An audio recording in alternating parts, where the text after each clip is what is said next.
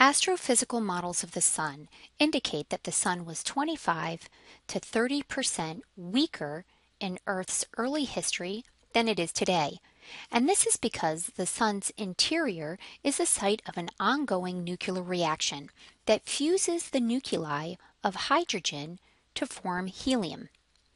This fusion causes the Sun to become brighter and larger over time, and it should have produced a very large climatic warming over the last 4.6 billion years of Earth's history. You might be thinking that perhaps the Earth was frozen in its early history when the Sun was weaker, and that is why it is not overheated today with a stronger Sun. Evidence, however, suggests that the Earth was not frozen in its early history. This evidence includes the prevalence of water deposited sedimentary rock throughout the Earth's early history. These types of rock indicate that the Earth's climate allowed for water in a liquid state. In addition, the evolution of species, the succession of ever more complex life forms, provides some proof against extreme hot or cold conditions.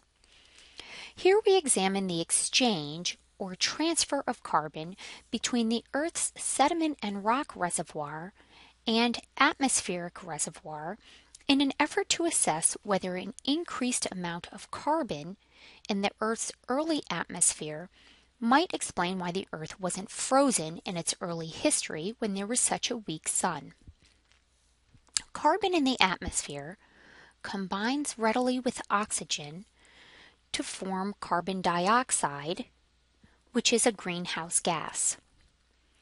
Greenhouse gases trap outgoing infrared radiation emitted by the Earth's surface and re radiates some of this heat back down to the Earth.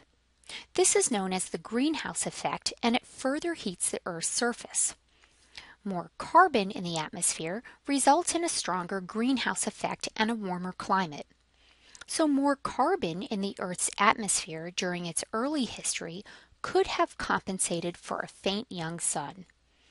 Then, maybe as the sun warmed over the last 4.6 billion years, this carbon could have moved or transferred into some other part of the Earth system, reducing the greenhouse effect and keeping the Earth from overheating. Let's take a closer look at carbon exchange between these reservoirs. We know that all of the Earth's reservoirs exchange carbon. Currently, small amounts of carbon exists in the atmosphere, in the surface ocean, and in vegetation, along with a slightly larger reservoir in soil, a much larger reservoir in the deep ocean, and an immensely large reservoir of carbon is stored in the sediment and rock reservoir. Carbon storage in these reservoirs is measured in billions of tons or gigatons. And the rates of carbon exchange among these reservoirs varies widely. But again, because all of the Earth's reservoirs exchange carbon with the atmosphere, each has the potential to alter the concentration of atmospheric CO2 and ultimately affect the Earth's climate through the greenhouse effect. The natural input of CO2 into the atmosphere from the rock reservoir is related to plate tectonics and volcanic degassing. That is a natural input of CO2 into the atmosphere from the sediment and rock reservoir. The major long term process of CO2 removal from the atmosphere is tied to the chemical weathering of continental rocks. Now, there are different types of chemical weathering. However, hydrolysis is the type of chemical weathering resulting in a net removal of CO2 from the atmosphere.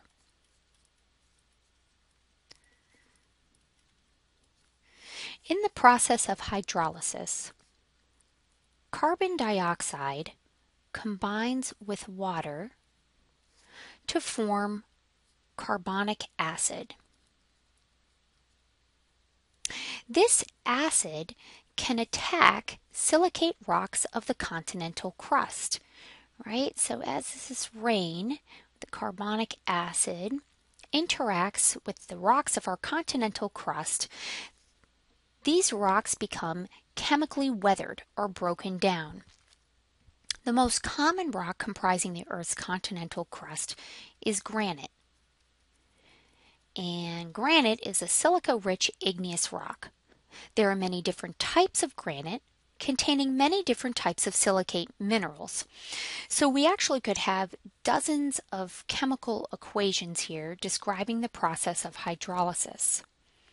For simplicity, I'm going to use the silicate mineral wollastonite to represent continental rock in this equation.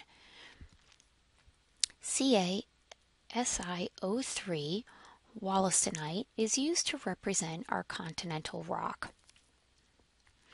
Now, when carbonic acid breaks down rock of the continental crust, part of the weathered rock is chemically converted to clay minerals in the soils, and part is chemically converted to dissolved ions.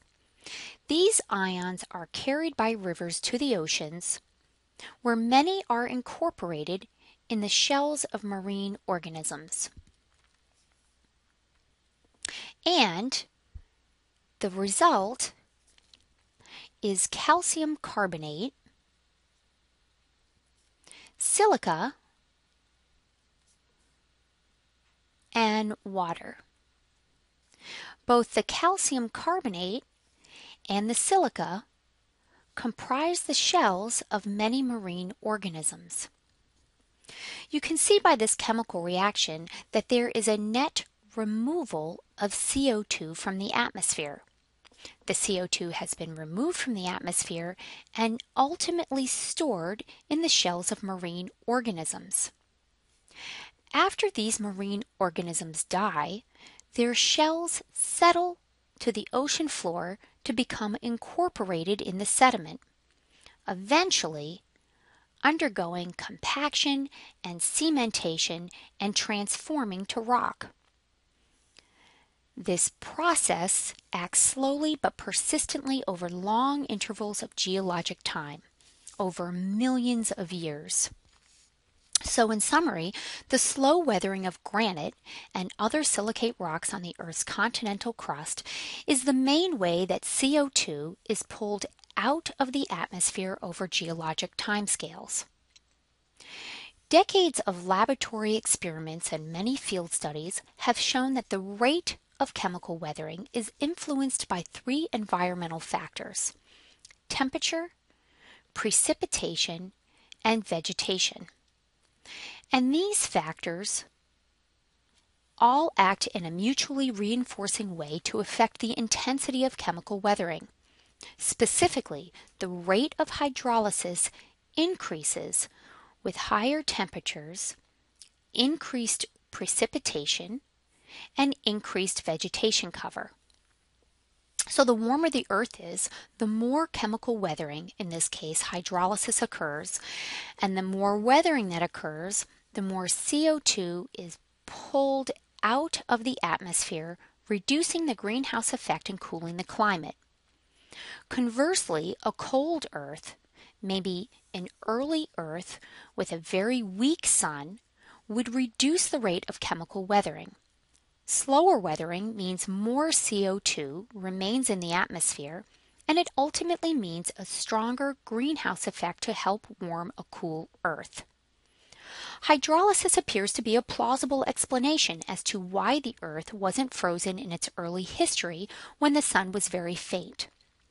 And even though there is a fixed amount of carbon in the Earth system, we can see here that where this carbon resides in the Earth system significantly influences Earth's climate. When carbon is moved into the atmosphere from any other reservoir, the greenhouse effect will strengthen and the Earth will warm. When carbon is moved out of the atmosphere and into any other reservoir, the greenhouse effect will weaken and the climate will cool.